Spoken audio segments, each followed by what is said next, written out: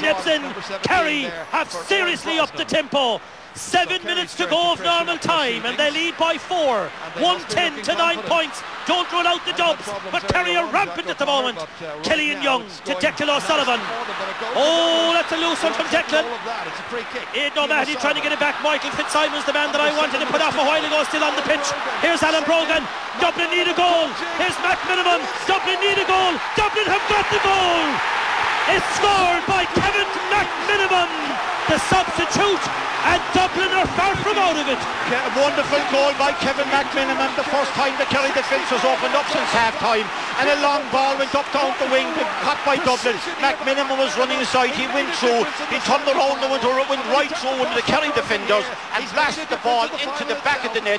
A wonderful goal by him, and Dublin are right back into it. And it was Declan O'Sullivan who was back, tried to stop him, and Dublin back into it, just one point.